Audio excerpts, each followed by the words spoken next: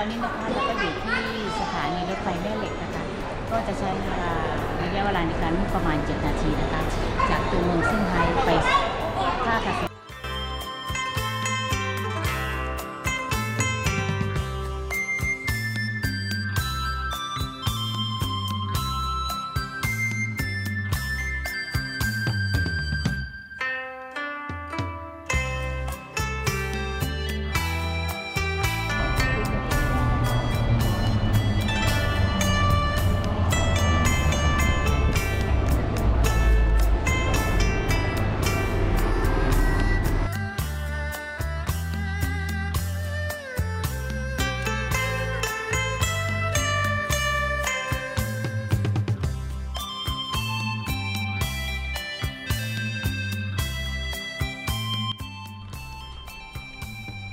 ค่ะสวัสดีนะคะ ตอนนี้ก็จะนำนะคะท่านนั่งรถไฟแม่เหล็กไปพร้อมกับเรานะคะเป็นเทคโนโลยีใหม่ล่าสุด